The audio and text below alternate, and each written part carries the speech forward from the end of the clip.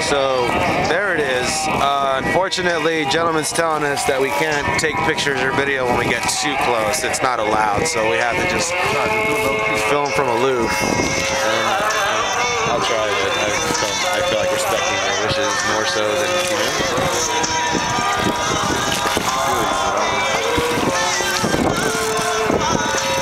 So looking all, looking disgust, look how you will.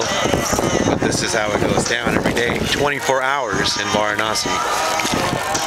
This isn't a game, this is a lifestyle. This is a dedication, unlike most people who only say but never really do. You might not understand, you might not agree. But it is what it is, dog. It is what it is. All that now becomes irrelevant. Some real shit on me. Some more real shit on me. These papers are just